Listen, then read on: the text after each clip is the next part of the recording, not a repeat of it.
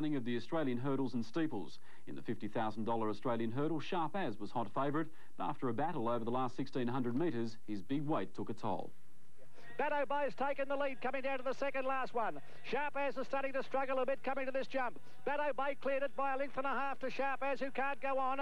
Then Irish Lover and well back to Crescent Ray. Here's the last jump ahead of them. And Bateau Bay is the leader. Sharp As is not to be denied as yet. He's making another effort, but the leader is Bateau Bay. Coming to the last one, 150 left to go. Bateau Bay jumped at a, a length and a half to Sharp As, trying hard down the outside, but it's Bateau Bay for the Australian hurdle. And Bateau Bay has won it by a length and a quarter Sharp As. Bateau Bay, ridden by Nick Harnett, started at 7 to 1 from 13 to 8 favourite Sharp As and Irish Lover at 8s. Iron Gate, another top weight, was the punter's choice in the $50,000 Australian steeple, but with a round to go, rank outsider Tokot took charge, and to the bookie's delight, the seven-year-old stayed there. Left to Jumper. Tokot's getting weary, comes along to the last one, jumped it safely, sprawled a bit. Commission Red under pressure as they come through the gap, onto the course proper, and Tokot about three lengths to Commission Red, who's under the weapon there, well clear of Questland. Inside the final 200 metres, and Tokot.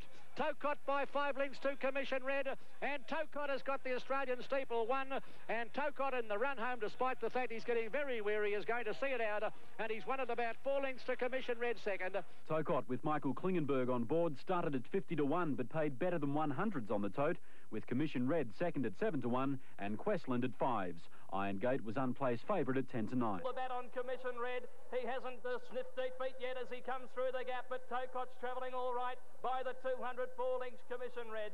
A long break to Questland. Tokot kept going under the whip from Klingenberg. Four and a half clear, holding Commission Red. Questland has got third parcelled up, but Tokot is going under score of oil over in the Australian steeplechase. Tokot wins it by four Commission Red a long break in third placing. Silver Scout in front, but our Palliser is picking has raced to the front in the last 50 metres and draws away. Our Palliser wins three quarters Silver Scout.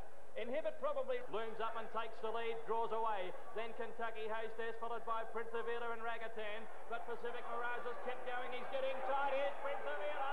He's getting out of the ground. Mirage in front. Prince Avila goes home the best. Rules never in the shadow. Bob up. Prince Avila maybe a nose to Pacific Mirage and a bobbing finish. Uh, Kentucky Hostess got third in front of Piccadilly. Fortunately for the favourite punters, he just held on Pacific Mirage.